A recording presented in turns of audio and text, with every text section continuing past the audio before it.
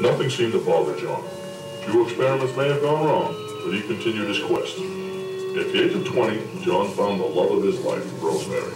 Rosemary was beautiful. She had beautiful green eyes, soft, silky skin, black satin hair.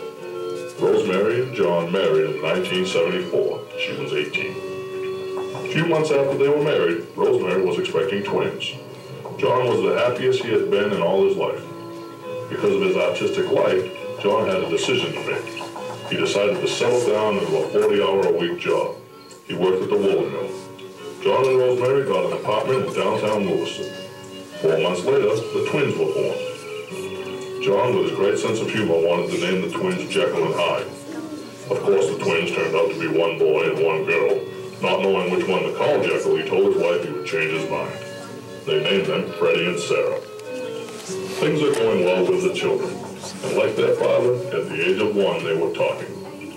It was late afternoon when John came home.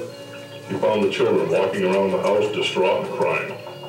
Walking further into the house, John went into the bedroom and found his Rosemary lying on the bed with her throat slit.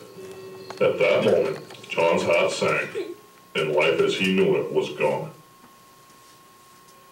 John was